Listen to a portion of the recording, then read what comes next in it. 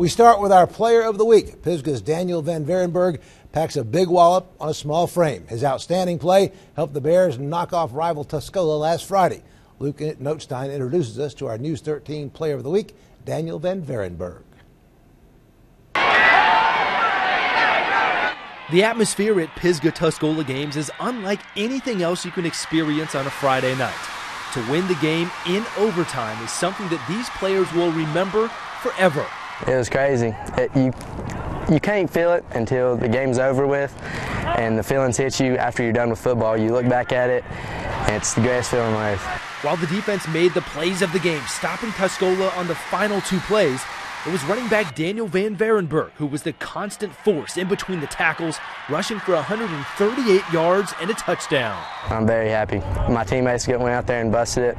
The coaches went out there and busted it, and the fans came out there and backed us. He is a workhorse. He's 150 pounds soaking wet, and he is a typical Canton kid. He's tough as nails. Uh, he's able to carry the rock 30 times a game and, and, just keep feeding him. He wants it more. His teammates Houston Rogers and Trey Morgan played a big part in Friday night's win, hooking up for this incredible touchdown in the back of the end zone. Even they are impressed with their running back's ability to get the job done. It gives me a lot of confidence to hand off someone like that who line goes and makes plays for him, makes holes, and he finds the holes and makes plays. Oh, it's great. It starts with our line, and Daniel, he just uh, he gets to that line, he tries to find the seam, and once he does, you know, it's off to the races.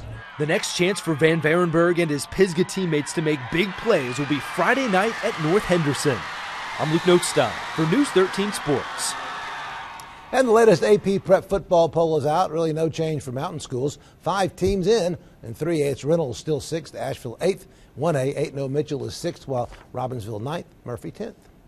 Big day for many area prep women's golfers. The 1A, 2A regionals played today at Etowah Valley Golf Club with a chance to go to state. Teams from all over the West region, including local schools like Hendersonville, the host team, Avery, Smoky Mountain, Franklin, Murphy, Cherokee Highlands, a little bit of a late start due to a frost delay, but then on a beautiful day, they got a chance to play. Henderson played the best, gets first place, score of 283. Avery second, Highland Tech third. State tournament Monday and Tuesday at Southern Pines. Also, Callista Rice of North Buncombe High won the regional championship held in Charlotte today with a one under score of 71. She'll play in the state championships next week in Pinehurst.